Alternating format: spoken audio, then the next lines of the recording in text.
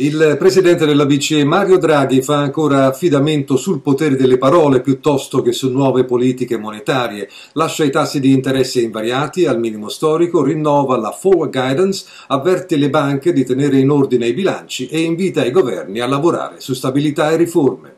Dalla riunione e conferenza stampa di ottobre della Banca Centrale Europea con Fausto Panunzi, professore di economia politica dell'Università Bocconi in collegamento internet da Milano. Ciao Fausto, bentornato ragazzi.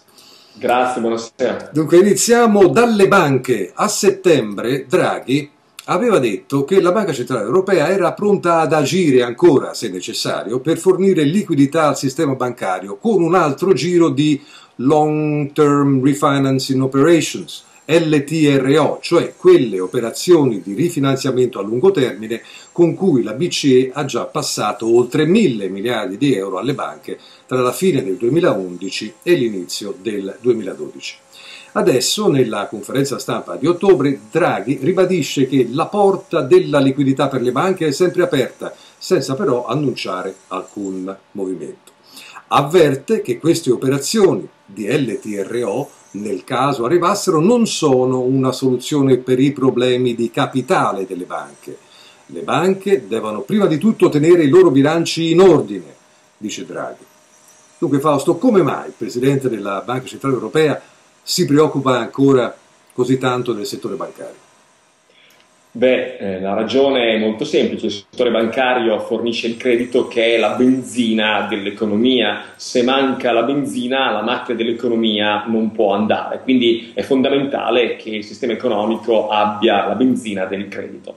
Draghi ha detto in maniera precisa che non vuole che ci sia nessun incidente di liquidità tra adesso e il momento in cui ci sarà la ripresa in Europa. Quindi ha garantito che le banche non avranno problemi di eh, rifinanziamento, potranno quindi riuscire ad avere il credito dalla Banca Centrale Europea fino a quando ovviamente ci, ci sarà questa benedetta ripresa a livello europeo.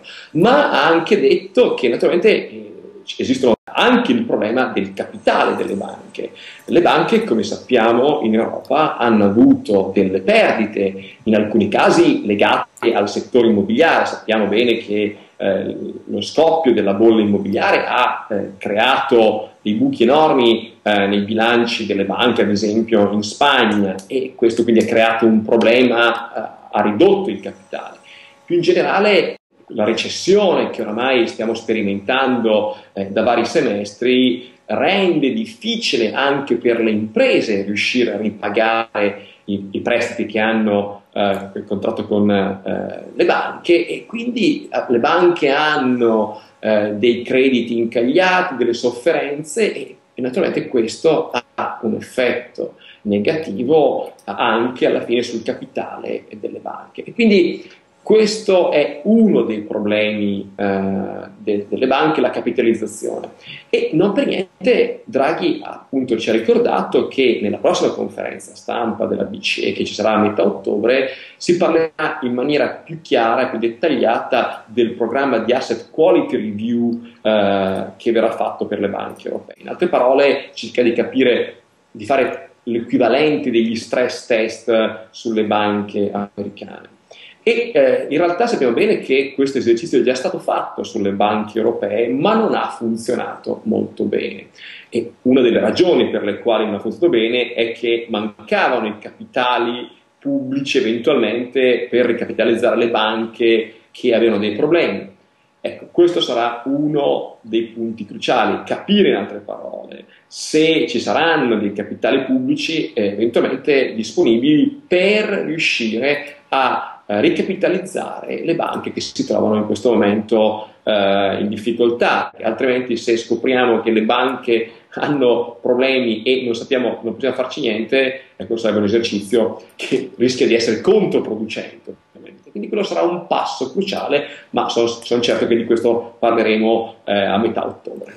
La Banca Centrale Europea fra l'altro vi dico anche questo, due volte l'anno va via da Francoforte a fare la, la, la, sua riunione, questa volta era andata a Parigi e l'ha fatta anche non di giovedì, perché di solito la riunione appunto della, della BCE e poi anche la conferenza stampa è sempre di giovedì, l'ha fatta invece di mercoledì a Parigi, perché giovedì era una, una vacanza in Germania? Dunque, la Banca Centrale Europea nella riunione del Consiglio direttivo di ottobre ha discusso un eventuale taglio dei tassi di interesse, ma ha deciso di lasciarli invariati al minimo storico dello 0,5% per il quinto mese consecutivo, dopo averli tagliati di un quarto di punto lo scorso maggio. Nella conferenza stampa Draghi insiste con la cosiddetta forward guidance, cioè dà indicazioni sulla futura politica monetaria della Banca Centrale Europea, con l'intenzione di non sorprendere, eh? con l'intenzione di rassicurare investitori, mercati, banche. Dunque, perché Draghi insiste tanto nel dire che i tassi di interesse rimarranno bassi per un extended period of time, dunque un esteso, un prolungato periodo di tempo? Beh, eh, ricordiamoci che il mandato della Banca Centrale Europea riguarda solo la stabilità dei prezzi, quindi in teoria deve riguardare solo l'inflazione. E Draghi ha ricordato che da quel punto di vista eh, in realtà l'inflazione a livello europeo è circa l'1,1%, quindi ben al di sotto del 2% che dovrebbe essere l'obiettivo. Ma eh, se, sebbene eh, quello sia l'obiettivo, eh, l'unico obiettivo, l'unico mandato della Banca Centrale Europea, Draghi ha sempre fatto capire che altre considerazioni che riguardano il, il PIL europeo, la crescita, l'occupazione sono in realtà rilevanti per le sue decisioni. E quello che ha detto Draghi è essenzialmente che la ripresa in Europa si comincia a intravedere non dappertutto, in Italia eh, come sappiamo le previsioni sono ancora eh, quelle di una crescita molto, molto debole eh, per il 2014, ma a livello europeo ci dovrebbe essere un, una crescita, ma ha fatto capire che ci sono ancora dei rischi di incidenti che potrebbero bloccare o rallentare la crescita. E questo ovviamente è qualcosa che Draghi eh, non vuole.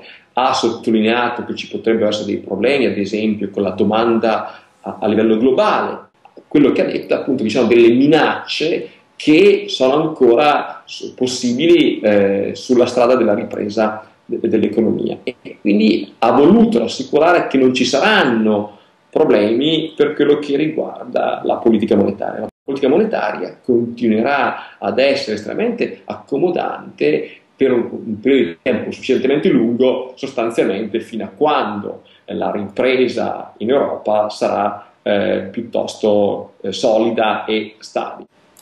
Draghi ribadisce che i tassi di interesse del mercato, il riferimento più ovvio qua, perché parliamo sempre di tassi, tassi di interesse, è ai rendimenti delle obbligazioni statali, cioè quanto uno Stato, per esempio l'Italia, paga per finanziarsi, per trovare i soldi, mm. per attirare gli investitori a comprare il suo debito. I tassi di mercato, dice Draghi, sono un segnale di come i governi agiscono con le necessarie riforme economiche.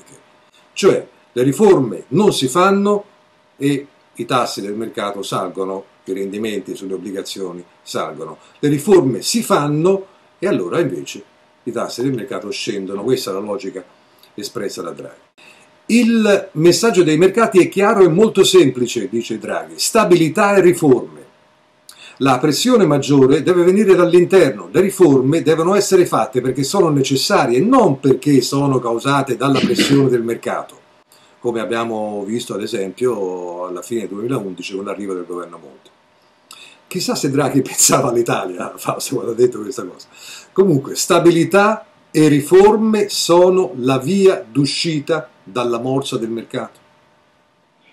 Eh, beh, innanzitutto alla domanda sull'Italia Draghi ha risposto in modo generico dicendo che eh, ha fiducia nell'Italia e quindi non ha ovviamente non è il suo ruolo, quindi non ha detto niente eh, di specifico sull'Italia e quindi da quel punto di vista eh, immagino che potesse avere anche in mente l'Italia, ma non l'ha esplicitato. Ecco, per quello che riguarda eh, ovviamente i, i, tassi che vengono pagati, abbiamo visto che in realtà eh, lo spread si è ridotto dopo l'OMT, quindi sappiamo che una delle variabili fondamentali è stata l'OMT, cioè la disponibilità della Banca Centrale Europea a comprare i titoli dei paesi dell'Eurozona. Quindi eh, diciamo in questo periodo il ruolo principale nel determinare il livello di spread è stato giocato dalla Banca Centrale Europea.